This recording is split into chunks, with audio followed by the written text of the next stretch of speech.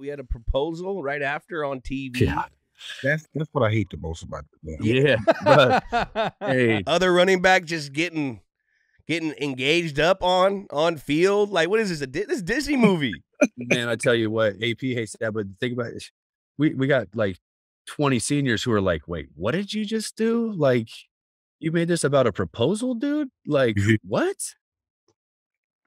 Come on, man. It- That was so They're still together apparently though. So apparently They have a child. worked. they, Yeah. I think they've got two or yeah, they got a couple, and, and he is a good enough dude. Uh, just ill timed. I'm not big at. Um, Berea did it after, not Berea, but uh, Correa did it after World Series. Like, no, save it, save it. Other dude, do it. You, you got a bunch of dudes on your team that work their stinking tail off to have this event, not your proposal, bro. It's like, knock I've that. seen worse. I, I I've seen. I mean, look, I'm a stand-up comic. I've seen people propose at my shows in a strip mall, and I'm like, you could do better. Come on, let's let's do a little better. So that I've seen worse, but yeah, it's it's a it's a team moment. Why are you doing that? I'm with you. yeah. Yeah. So when I was in Minnesota, we end up um, bringing in Ian Johnson. We brought him in. Oh, that's right.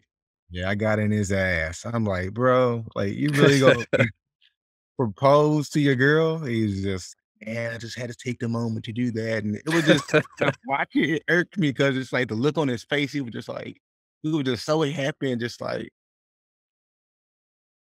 just like, like That's love. into the wound. It's like, oh man, I hope you I hope you uh haze the shit out of him. yeah, yeah, I got a little payback, but he's, but he- like you said, man, he's a hell of a guy, man. He was- he was really cool, great personality. I, I I love the time that he was there, and then again to know that guy, he was cool.